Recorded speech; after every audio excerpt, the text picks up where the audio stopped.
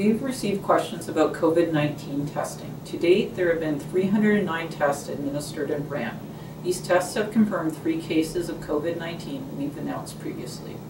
While these numbers remain important, we know they do not tell the whole story of the seriousness of the pandemic. That is why it's so critical for people to stay home if they are ill. Public health recommendations and the orders handed down by the provincial government reflect the graveness of the situation affecting us all.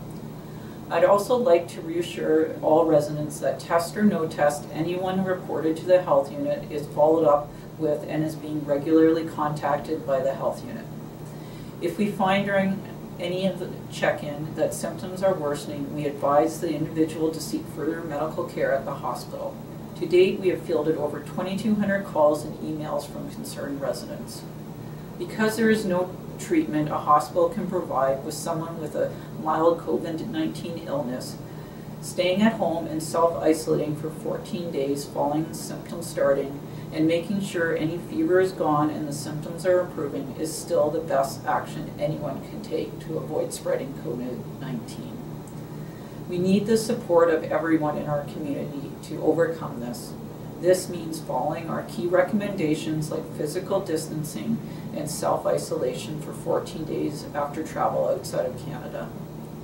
We are all in this together and only together can we beat this.